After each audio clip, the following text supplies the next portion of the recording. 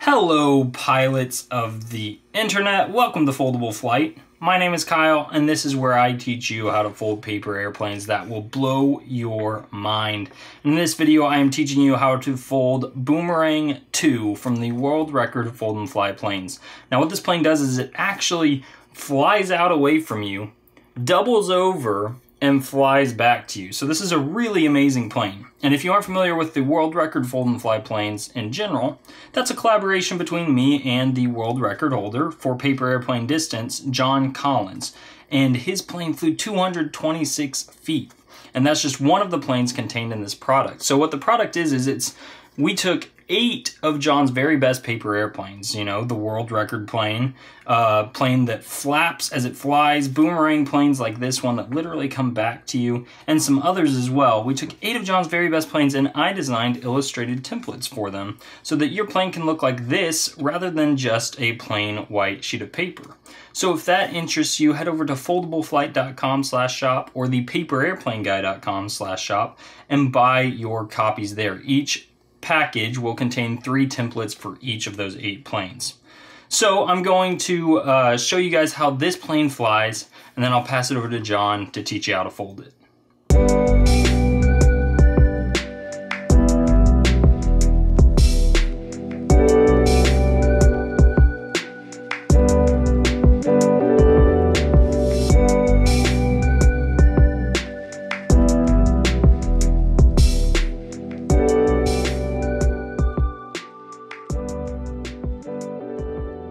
Start with the Boomerang 2 paper. And don't worry if you don't have this nice fancy paper. This is available on both of the websites, Foldable Flight and the paperairplaneguy.com, but you don't have to worry about that. It works great with any 8.5 by 11 sheet of paper. So uh, start with Boomerang 2 side down, and you're going to want this little arrow up. And the first thing to do is fold the sheet of paper in half. I'm just going to move in just a little bit as I do this, so it's a little easier for me to see the corners here.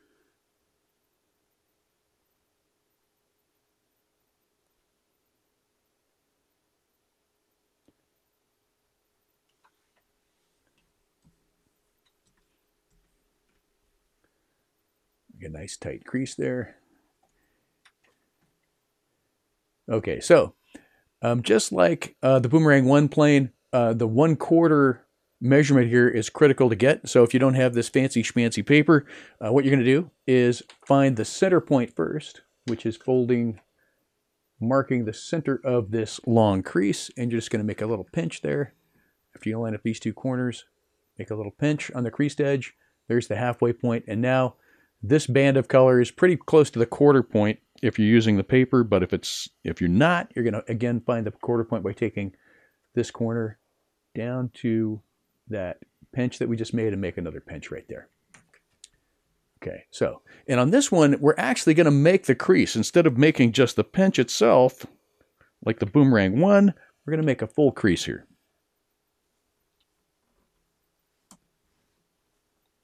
Unfold that. And now we're going to take this corner and fold it over to hit the crease.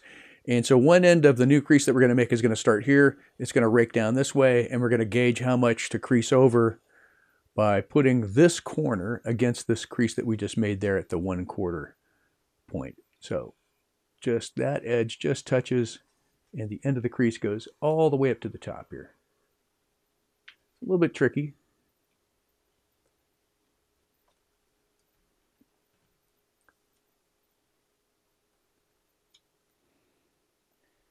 If it doesn't turn into be, if it's not a really nice tight corner, just work with it a little bit. As I'm doing here on this, just roll it out just a little bit more so you get a tighter crease there. It doesn't have to be perfect, but you know, you want to be as close to, to right as you can get it there. All right. Now, we're going to squash this flap here, and that means we're going to start by lifting up this flap, opening it up, and this little pocket down here, we're going to press so that the center line on that pocket lines up with the center line right here. And it's okay if the center is just a little bit that way, just a little bit in front, because when you fold it over, the creases will, will line up. You'll see what I'm saying in just a second here. This center crease is just a little bit to the right-hand side of this edge. And so now if I just tuck this guy under, follow that crease, now this this crease that I was talking about is now just right dead center there. And that's all good. So once again, we started here. We made a crease over to just just touch this corner is just touching that one quarter mark. It rakes all the way up to the top. We squash, and then we fold that guy behind. And now we're ready to start tucking these uh, corners here into this pocket here. And you'll notice that these corners are way too big to put in the pocket. If you just move one over, this is the first step in putting it in there.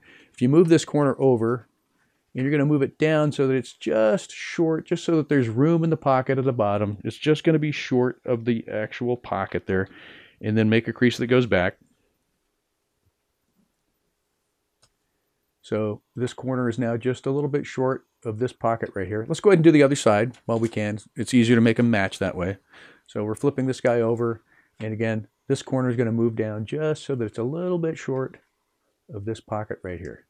You can kind of see that pocket right there. This corner is going to come down just, just to the inside of the corner there, just so there's room to put it in there when we get it moved over.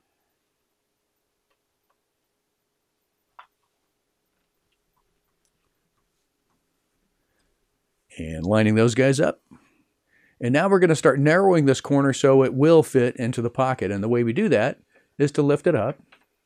And what we're going to do is follow this edge of the pocket. You can see that edge right there. We're going to follow with a crease that edge.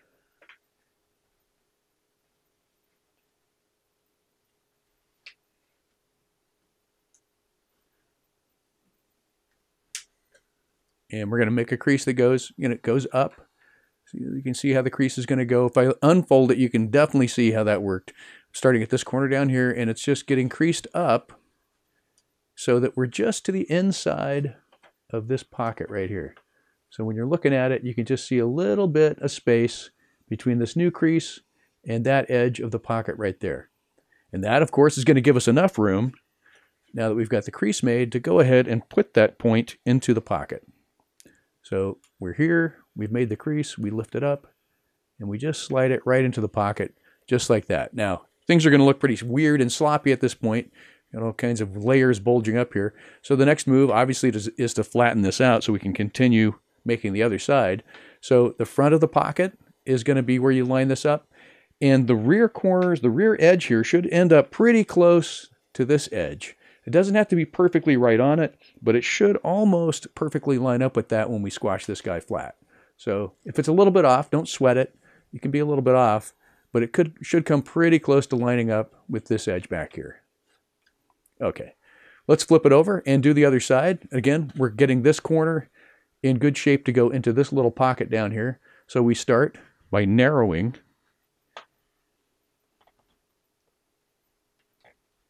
We're going to narrow that point. It's a little bit weird. You're going to have to look, uh, lift up the layers and look inside and figure out just where the edge of that pocket is.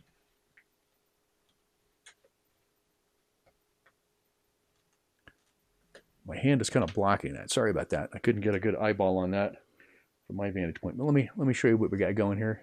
So there's the edge of the pocket right here, and this layer is starting here and folding up just so that it's just to the inside of that pocket, and the crease goes all the way up here, all the way inside, like that. We've got that layer creased now so it's just to the inside of that little triangular pocket. That's where the crease gets made. And then once you've made the crease, it's pretty easy now. It's small enough. You just open up that pocket and slip that in there. And now, just like we did with the other side, the challenge is to squash it flat here. So you use the front of the pocket as a guide, and again, the rear of the plane. Uh, that raw edge should line up pretty close with the rear. Just going to spin it around here so I can take a look that I'm getting these edges right. Always want both sides of your plane to match. There we go. Looking pretty good. And now we're going to lift this, uh, start to lift this top layer back up. So now that we got it all put down there nice and flat, now we're going to make a crease that goes from this corner to the front of the pocket. We're just lifting this up. And it's going to go all the way to the front of the pocket there, and then all the way to this back corner.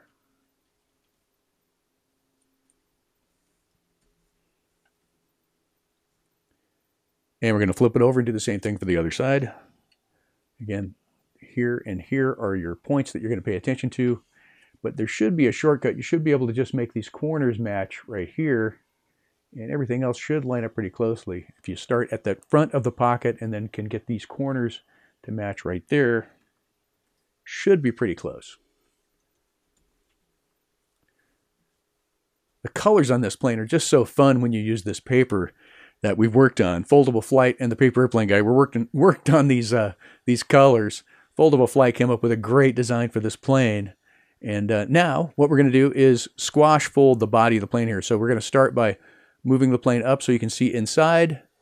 And then we're just going to open these layers up as we bring the two corners from the left-hand side. So really, it's it's a squash fold, classic squash fold. You're just looking inside the opening and moving it down like this. And again, these two corners here are going to line up with the very center of the plane right here. So keep that going right in the center as you then squash everything flat.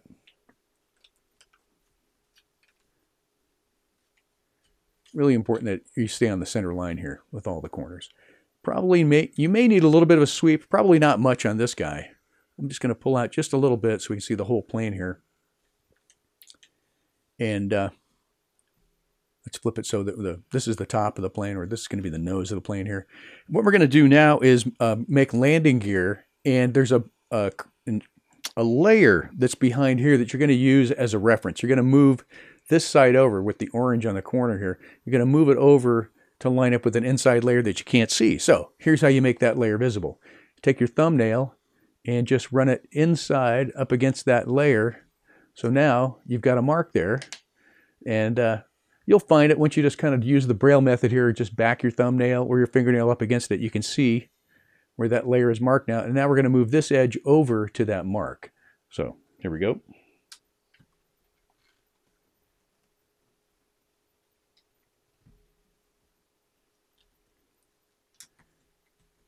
And of course, we're going to do the same thing on the other side. And again, we're just going to find, find this inside layer here. Use my thumbnail again. And I'm just moving it so that I can find that edge. It's pretty easy to find. I'm making it look a little more mysterious than it is. It's really just this edge here. And so you're finding that with your thumbnail and just running against that. And then you're going to take this creased edge over to our thumbnail marked edge. And one more time, we're just going to go right against there like that.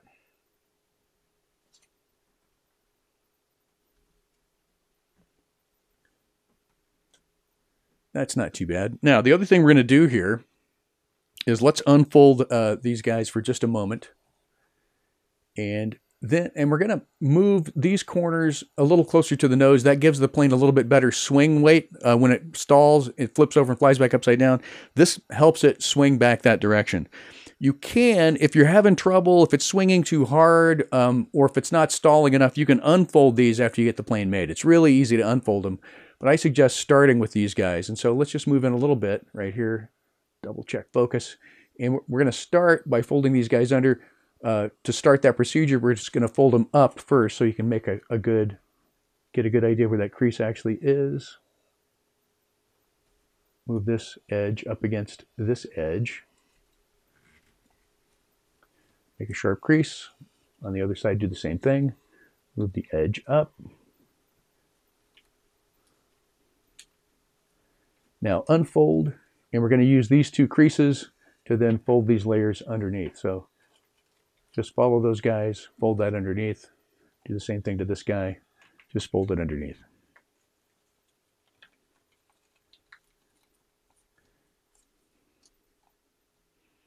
Okay, looking good. Let's pull out just a little bit here. Now we're going to rotate this guy this way. Let's flip it over. And now we're going to follow the center crease, just fold it in half. It's the very first crease that we made. We're remaking that crease. And to make the wing fold, this is a little bit like the Phoenix wing fold. You're going to roll this guy over and you're going to use this layer underneath is going to just touch this guy right here. So you have to, it's a little bit tricky. You have to keep track of where that corner is. And this layer is just going to touch that corner. So you have to, you know, lift it up a couple of times and, and take a peek that you're hitting the right spot there. And it's pretty good like that. On the colored paper, a little easier to see. The Foldable Flight guy has made this a little simpler. This should come out really nicely for you right there. That little bead right there should work really nicely for you. And again, this, this layer just hitting that rear corner there. Uh, let's flip it over, make the other wing match.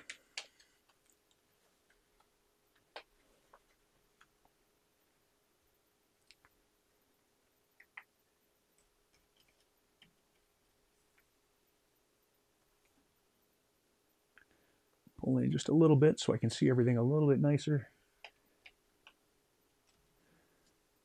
Okay, looking pretty good. We're going to make winglets now. And if you're using our fancy paper here, you can see that you got an edge right here. You can kind of see that edge going through there. That's uh, your clue visually on this great paper. But if you're not using our paper, you can move this corner up till it just touches this layer here, or just even a little bit short. The main thing is to make it parallel with this crease. This crease and this crease want to be going the same direction. Just like a set of railroad tracks, you want it parallel like that. Let's flip it over and make the other winglet.